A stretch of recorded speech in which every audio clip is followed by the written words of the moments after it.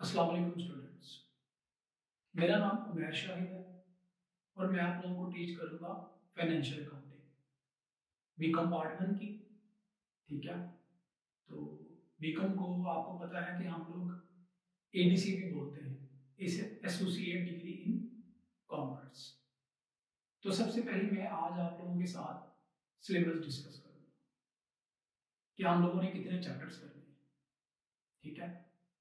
तो सबसे पहले आप लोग देखें चैप्टर नंबर वन हम लोग करेंगे इंट्रोडक्शन ठीक है? ये टोटल थ्योरेटिकल चैप्टर है। ठीक है? इसमें आप सिर्फ़ और सिर्फ़ थ्योरी ही पढ़ेंगे।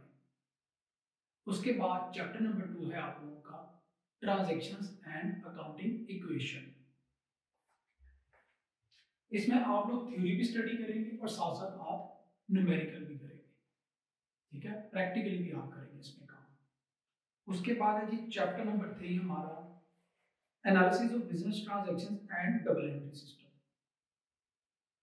chapter number four है जी हमारा journal the original book of entry उसके बाद है जी चैप्टर नंबर फाइव हमारा ledger the main books of accounts chapter number six है हमारा accounting for bills of exchange chapter number seven है हमारा special journals chapter number eight है हमारा cash book and bank reconciliation statement chapter number ten है हमारा final accounts the completion of accounting cycle chapter eleven adjustments and their effects on final accounts chapter number twelve है जी हमारा worksheet अच्छा ये chapter number nine जो है ना, इसमें मिस प्रिंटिंग है, ठीक है? ये आप लोग लिख लें। वैसे आपकी बुक की फ़र्स्ट पेज पे ही होगा, ठीक है? सेल अफजल्स आपकी बुक है, हम लोग फॉलो करेंगे, ठीक है? चैप्टर नंबर नाइन है हमारा journal proper and summary of book keeping to the trial balance ये आप लोग अपनी बुक के पेज पे देखेंगे तो आप लोगों को मिल जाएगा, ठीक है? इसमें मिस है, आप लोग नोट कर लें। उसके बाद है चैप्टर ट्वेल्व हमारा वर्कशीट चैप्टर थर्टीन है हमारा financial statements chapter fourteen capital and revenue chapter fifteen है हमारा रेक्टिफाइंग ऑफ़ एरर्स या हम इसको रेक्टिफिकेशन ऑफ़ एरर्स भी बोलते हैं। ठीक है? चैप्टर 16 है हमारा अकाउंट्स फ्रॉम इनकम्प्लीट रिकॉर्ड्स या सिंगल एंट्री सिस्टम भी हम इसको बोलते हैं। चैप्टर 17 है हमारा the accounts of non profit making organisations या इसको हम नॉन ट्रेडिंग कंसर्न्स भी बोलते हैं। चैप्टर 18 है हमारा पार्टनरशिप अकाउंट्स और चैप्टर 19 है हमारा डेप्रिसिएशन प्रोविजंस एंड रिजर्व्स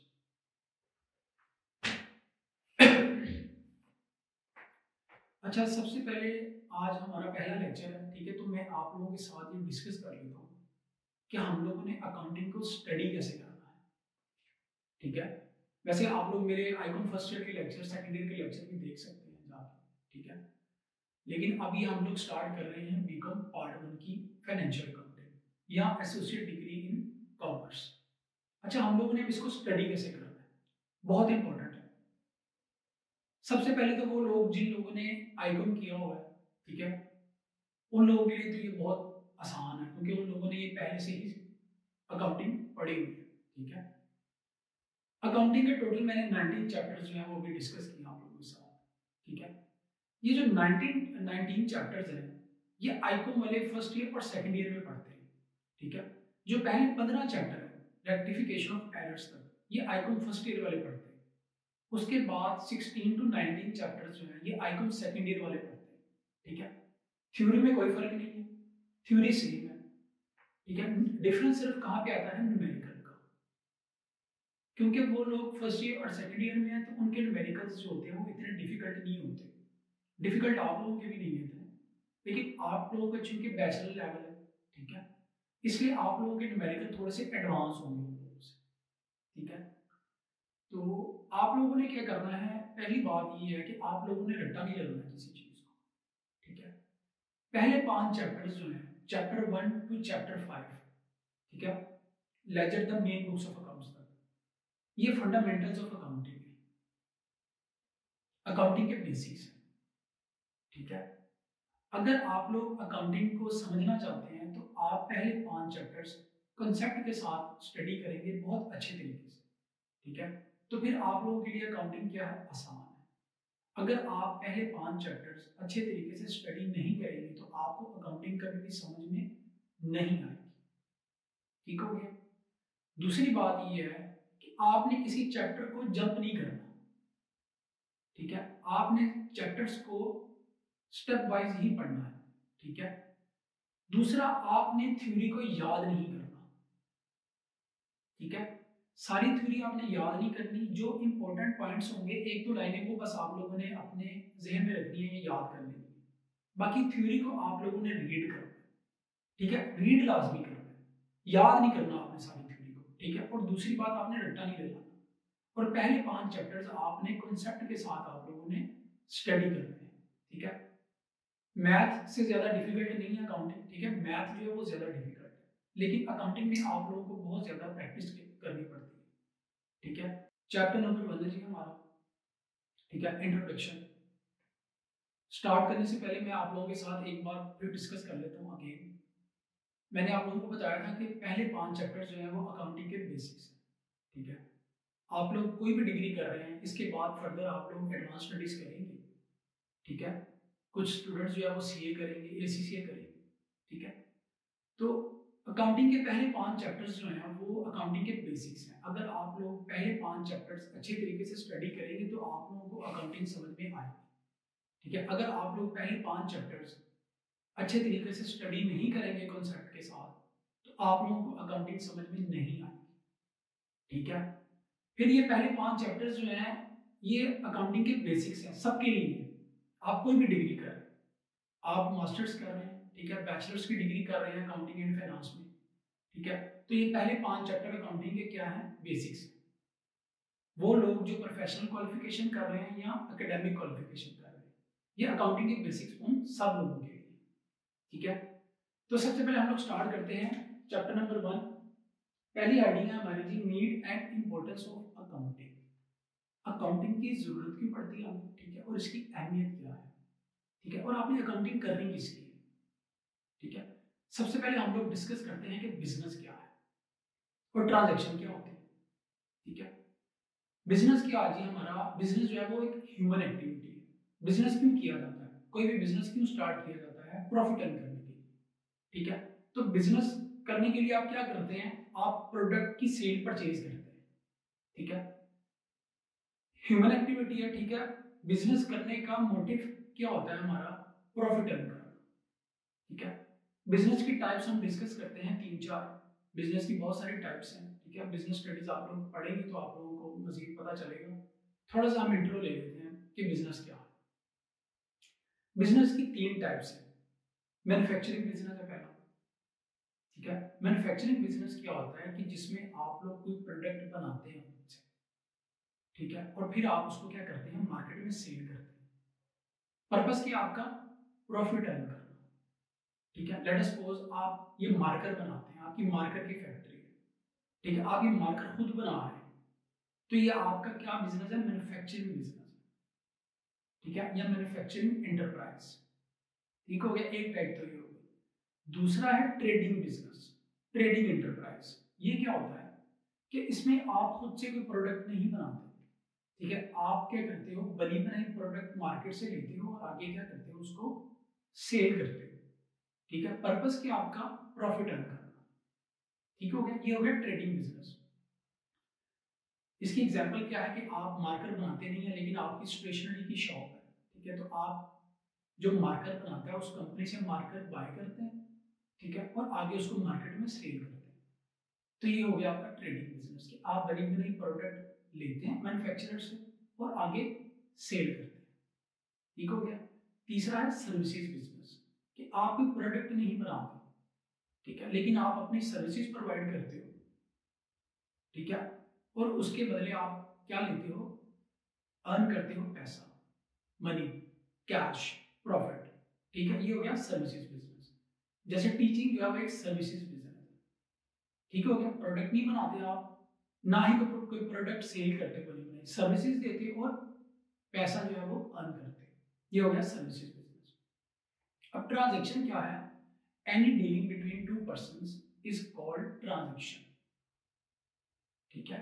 कोई भी डीलिंग दो पर्सन के दरमियान जो होगी, वो क्या कहलाएगी? ट्रांजेक्शन अब ट्रांजेक्शन में क्या होगा? यहाँ तो आप कोई प्रोडक्ट सेल करेंगे, या कोई प्रोडक्ट आप परचेज करेंगे। ठीक है? तो ये हो गया हमारी ट्रांजेक्शन ठीक हो गया? अब आज हमने अकाउंटिंग करनी किसकी सिंपल से एक एग्जांपल लेते हैं। अकाउंटिंग का मतलब है हिसाब किताब रखना। ठीक है? अब हिसाब किताब रखने से क्या मुराद है? सिंपल से एग्जांपल लेते हैं। आप एक इंडिविजुअल पर्सन है, ठीक है? आप जॉब करते हैं, ठीक है? आप हर मंथ कुछ स्पेंड करते हैं अपने ऊपर, कुछ आपके एक्सपेंसेस होते हैं, ठीक है? तो आप उन सब का हिसाब किताब रखते हैं, ठीक है? इसको हम अकाउंटिंग ही बोलते हैं। अगर आप हिसाब किताब नहीं रखेंगे, आपकी आपकी इनकम कितनी है? आप अपनी इनकम के मुताबिक ही जो है वो एक्सपेंस करते हैं, खर्चा करते हैं। ठीक है? तो ये आप अकाउंटिंग ही कर रहे होते हैं। अब आप बिज़नेस पॉइंट ऑफ़ व्यू से आ जाए बिज़नेस जब आप करते हैं तो बिज़नेस में आपको पता है, आप बहुत सारी जो होती है ट्रांजेक्शन आपने उनको क्या करना होता है? रिकॉर्ड करना होता है। ठीक है? बुक्स ऑफ़ अकाउंट्स को आप क्या करते हैं? मेंटेन करते हैं। ठीक है? इसको हम बोलते हैं अकाउंटिंग ठीक है? आपके बिज़नेस की जितनी भी ट्रांजेक्शन होती है ऑब्वियसली आप जब कोई बिज़नेस करेंगे ठीक है? प्रोडक्ट बनाएँगे, उस पर कुछ खर्चे भी आएँगे एम्प्लॉयज़ आप हायर करेंगे, उनको सैलरीज देंगे। तो इन सब का आपने क्या करना होता है? रिकॉर्ड रखना होता है। ठीक है? इसको हम बोलते हैं अकाउंटिंग ठीक है? अकाउंटिंग का मतलब है कि आप बुक्स ऑफ़ अकाउंट्स को क्या करते हो? प्रिपेयर करते हो। अकाउंट्स की बुक्स बनाते हो। ठीक है? तो ये आप क्या कर रहे होते हो? अकाउंटिंग कर रहे होते हो। ठीक है? अब अकाउंटिंग क्यों ज़रूरी है? ऑब्वियसली जब आप बिज़नेस करेंगे तो आपको ये पता होना चाहिए कि आपके बिज़नेस में कितने एक्सपेंस हो रहे हैं, कितनी सेल हो रही है, ठीक है? आप परचेज कितनी कर रहे हैं मटेरियल प्रोडक्ट बनाने के लिए, ठीक है? तो आप इन सबका क्या करते हो? रिकॉर्ड रखते हो, ताकि आपको पता चल सके कि आपके बिज़नेस की पोजीशन क्या है। आपको कितना प्रॉफिट हो रहा है मंथ के एंड पे या कितना लॉस हो रहा है मंथ के एंड पे ठीक है? तो ये बहुत ज़रूरी है। अगर आप अपने बिज़नेस में बुक्स ऑफ़ अकाउंट्स को मेंटेन नहीं करते अकाउंटिंग नहीं करते अपने बिज़नेस की। तो आपको ये पता नहीं चलेगा कि आपका बिज़नेस जो है वो प्रॉफिट में जा रहा है या लॉस में जा रहा है। ठीक है? तो आप अपने बिज़नेस को प्रॉपरली रन नहीं कर सकते अगर आप बुक्स ऑफ़ अकाउंट्स मेंटेन नहीं करेंगे तो अकाउंटिंग जो है वो इसलिए ज़रूरी है ताकि आप अपने बिज़नेस को प्रॉपरली रन कर सके। ठीक हो गया?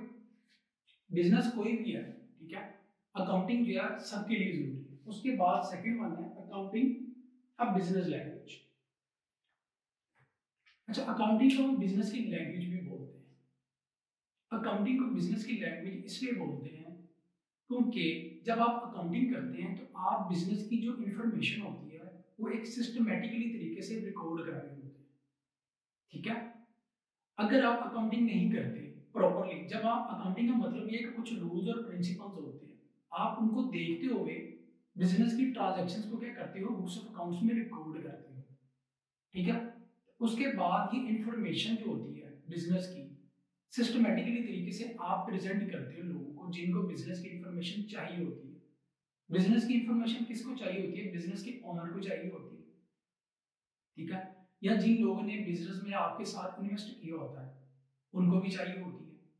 जो आपके कस्टमर्स होते हैं, उनको भी बिज़नेस की इंफॉर्मेशन चाहिए होती है, या जो शेयर होल्डर्स होते हैं, उनको भी बिज़नेस की इंफॉर्मेशन चाहिए होती है। बैंक्स को चाहिए होती है, ठीक है? गवर्नमेंट को चाहिए होती है बिज़नेस की इंफॉर्मेशन आपकी, ताकि आप पे सेल टैक्स और इनकम टैक्स जो है वो लगाया जा सके, ठीक है?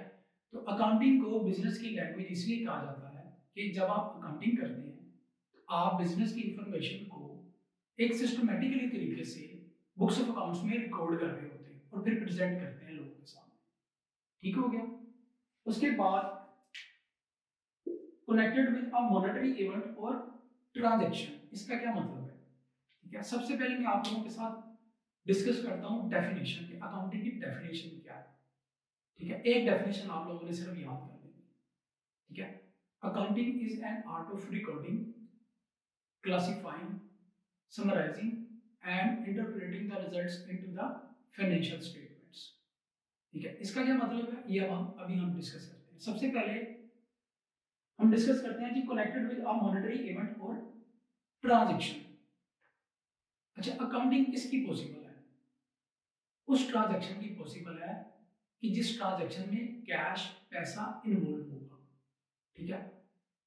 अगर आप गुड्स की सेल परचेज करेंगे कैश पे करेंगे या कैश रिसीव करेंगे तो फिर ही आप अकाउंटिंग कर सकेंगे।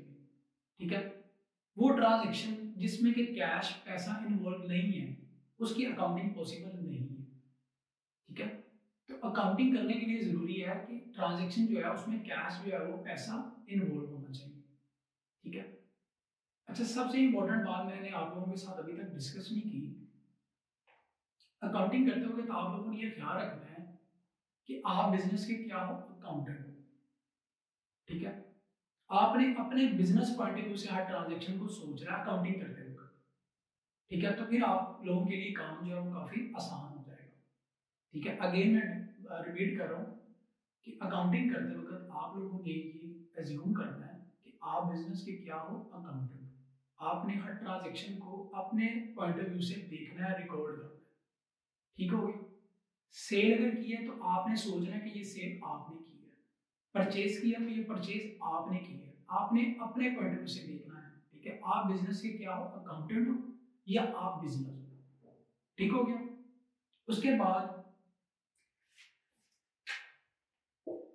transactions are processed into four different stages ठीक है? मैंने अभी आप लोगों के साथ डेफिनेशन डिस्कस की है, अब मैं आपके साथ ये डिस्कस करता हूँ। ट्रांजेक्शन को जो है वो चार डिफरेंट स्टेजेस में जो है वो प्रोसेस किया ठीक है सबसे पहले मैंने बोला accounting is an art of recording जब भी कोई ट्रांजेक्शन होती है, आपने उसको क्या करना होता है? सबसे पहले रिकॉर्ड करना होता है। फ़र्स्ट स्टेज क्या है रिकॉर्डिंग जैसे ट्रांजेक्शन होगी, आप उसको अकाउंट्स की बुक में क्या कर लोगे? रिकॉर्ड कर लोगे। उसके बाद मैंने बोला accounting is an art of recording classifying अब इसके बाद सेकंड स्टेज ये आती है कि वो ट्रांजेक्शन जो नेचर में सेम होती है सिमिलर नेचर की होती हैं आप उनको सेपरेट कर लेते हो। उसको हम बोलते हैं क्लासिफिकेशन या क्लासिफाइंग करना उसके बाद क्लासिफिकेशन की बेस पे आप क्या करते हो रिकॉर्ड को इकट्ठा करते हो, जिसको हम बोलते हैं समराइजिंग ये थर्ड स्टेज है। ठीक है? फर्दर हम आगे जाके डिस्कस करेंगे। ठीक है? उसके बाद फाइनली है interpretation the results into the financial statement मैंने क्या बोला था? फाइनल वर्ड डेफिनेशन में accounting is an art of recording classifying summarising and interpreting the results into the financial statements interpretation में ये होता है कि फाइनली आप क्या करते हो? फाइनेंशियल स्टेटमेंट्स प्रिपेयर करते हो। आप अभी सुन ले फाइनेंशियल स्टेटमेंट्स क्या होता है? फाइनेंशियल स्टेटमेंट्स जो होती हैं, दो तरह की होती है। एक है प्रॉफिट एंड लॉस अकाउंट और दूसरी है इनकम या इनकम स्टेटमेंट या प्रॉफिट एंड लॉस अकाउंट बोल लें या इनकम स्टेटमेंट ये आप बनाते हैं इसलिए ताकि आपको पता चल सके कि आपके बिज़नेस को कितना प्रॉफिट हो रहा है या कितना लॉस हो रहा है। ठीक है? दूसरी फाइनेंशियल स्टेटमेंट है हमारी बैलेंस शीट ये मैंने आपको एडवांस में बता दी है। ये फर्दर आगे जाके हम डिटेल में डिस्कस करेंगे। ठीक है? दूसरी आपकी फाइनेंशियल स्टेटमेंट है बैलेंस शीट बैलेंस शीट से आपको ये पता चल जाता है कि आपके बिज़नेस की पोजीशन क्या कि आपके पास एसेट्स कितने हैं, आपने लोगों से कितने पैसे लेने हैं और कितने पैसे आपने लोगों के देने हैं। आपके बिज़नेस की पोजीशन क्या है? तो आपको क्लियर हो गया? फाइनेंशियल स्टेटमेंट्स दो तरह की प्रॉफिट एंड लॉस अकाउंट या इनकम स्टेटमेंट इससे हमें पता चलता है कि हमारे बिज़नेस को कितना प्रॉफिट हुआ है या कितना लॉस हुआ। और बैलेंस शीट से हमें पता चलता है हमारे बिज़नेस की फाइनेंशियल पोजीशन क्या है, ठीक है? तो प्रॉफिट एंड लॉस अकाउंट या इनकम स्टेटमेंट आपके बिज़नेस की फाइनेंशियल परफॉर्मेंस को शो करता है। ठीक है? और बैलेंस शीट आपके बिज़नेस की फाइनेंशियल पोजीशन को शो करती है। ठीक है? ये आगे हम डिटेल में डिस्कस करेंगे। आपने टेंशन नहीं लेनी। कोई चीज़ अगर समझ में नहीं भी आती तो फर्दर आगे जाके हम इसको डिटेल में डिस्कस करेंगे। ठीक है?